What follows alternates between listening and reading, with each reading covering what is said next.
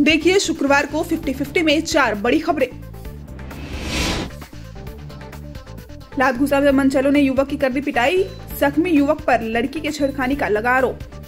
बिहार के भोजपुर ज़िले के बिहिया से एक दर्दनाक खबर सामने आ रही है, जहाँ एक युवक को मनचले युवकों ने बेरहमी से पीट पीट कर घायल कर दिया है। घटना बिहिया थाना क्षेत्र के कुअरदा गाँव के है, जहाँ बधार में गुरुवार की सुबह युवकों ने एक गुट बनाकर 20 वर्षीय एक युवक की जमकर पिटाई कर दी। घटना में गंभीर रूप से जख्मी युवक को बिहिया स्थित सामुदायिक स्वास्थ्य केंद्र लाया गया, जहाँ उसकी गंभीर अवस्था को देखते हुए बेहतर इलाज के लिए सदर अस्पताल आरा रेफर किया गया है।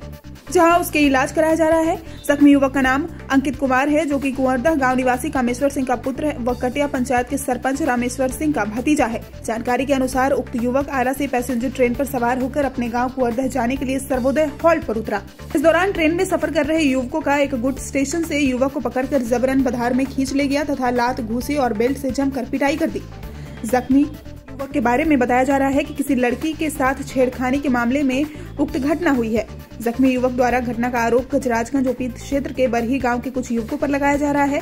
पुलिस के अनुसार युवक का फट बयान आने के बाद कार्रवाई की जाएगी। रुख करते हैं दूसरी खबर की ओर। भोजपुर में बालू से काली कमाई बंद, पुलिस की पैनी नज़र।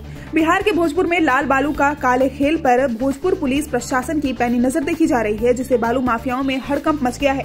लाल बालू के काली कमाई से बालू माफिया सालों साल अपनी आय को बढ़ा रहे हैं, पर उनका लाल होना खतरे की घंटी अब दिख रही है, क्योंकि भोजपुर एसपी संजय सिंह लगातार बालू माफिया पर शिकंजा कसते दिख रहे हैं और उनके साथ भोजपुर डीएम भी उनका बखूबी साथ दे रहे हैं, जिससे दोनों अफसरों ने पूरे भोजपुर में खलबली मचा रखी है। ताज़ा मामला कोइलवर से है, जहाँ राजापुर के खेल मैदान में मिनी लोडर को खनन विभाग एवं पुलिस की छापेमारी में जब्त किया गया है और उस पर एफआईआर भी दर्ज किया गया है। रुख करते हैं तीसरी खबर की ओर।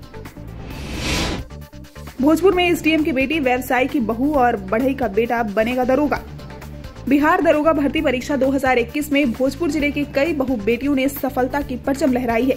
किसी घर की बेटी तो किसी घर की नई बहू ने दरोगा बनने में कामयाबी हासिल की है। अबला नारी कही जाने वाली अब ये थानों की कमान संभालेंगी। हाँ आपने ठीक सुना है। उदवंत नगर थाना क्षेत्र के पूर्वी डेम्हा दुबौली एवं निवास एसडीएम तेसलाल सिंह की बेटी सीमा यादव के दरोगा बनने पर परिवार सहित पूरे गाँव में खुशी की लहर दौड़ पड़ी है। वहीं संदेश थाना क्षेत्र के पिंजरोई गाँव के व्यवसायी हीरालाल केसरी की नई बहू पूजा कुमारी ने बिहार दरोगा में सफलता पाई है और अपने माता पिता सहित सास ससुर और पति का नाम भी रोशन किया है।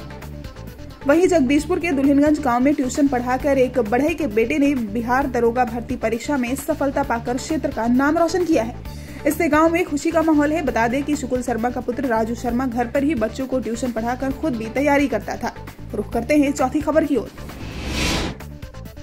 जगदीशपुर नगर में बीजेपी कार्यकर्ताओं ने बैठक कर 28 और 29 जुलाई को होने वाले राष्ट्रीय नेताओं के प्रवास को लेकर हुआ विचार विमर्श। बिहार के भोजपुर ज़िले के जगदीशपुर नगर के वार्ड नंबर 16 स्थित त्रिज्या धर्मशाला में जगदीशपुर विधानसभा के भारतीय जनता पार्टी के प्रमुख कार्यकर्ताओं की बैठक हुई। कार्यक्रम की अध्यक्षता नगर अध्यक्ष आदित्य कुमार एवं संचालन बीजेपी ग्रामीण मंडल अध्यक्ष विवेक सिंह कुशवाहा ने की, जिसमें भारतीय जनता पार्टी के आगामी 28 जुलाई और 29 जुलाई को होने वाले राष्ट्रीय नेताओं के प्रवास जगदीशपुर विधानसभा में कार्यक्रम को लेकर रूपरेखा तैयार किया गया, जिसमें राष्ट्रीय नेता दो दिवसीय प्रवास के दौरान विभिन्न कार्यक्रमों में भाग लेंगे और केंद्र सरकार के चल रहे जन कल्याणकारी योजनाओं के लाभार्थियों के साथ विभिन्न जगहों पर जनसंवाद करेंगे। पुलिस ने अलग अलग मामलों में एक वारंटी और एक अभियुक्त को किया गिरफ़्तार। संदेश पुलिस अलग अलग मामलों में एक वारंटी और एक अभियुक्त को गिरफ़्तार कर जेल भेज दिया है। मिली जानकारी के अनुसार पूर्व केस के वारंटी को बिछियाव गाँव एनबीडब्ल्यू केस के वारंटी शिवधार कंहार के पुत्र रमेश कंहार को गिरफ़्तार किया। वहीं दूसरा आरोपी नसरतपुर से बानवे बाईस के अभियुक्त इंद्रदेव यादव का पुत्र राजेंद्र यादव बताया जा रहा है। पुलिस दोनों अभियुक्तों को गिरफ़्तार कर संदेश थाने ले आई और कोविड 19 के जाँच के बाद जेल भेज दिया गया।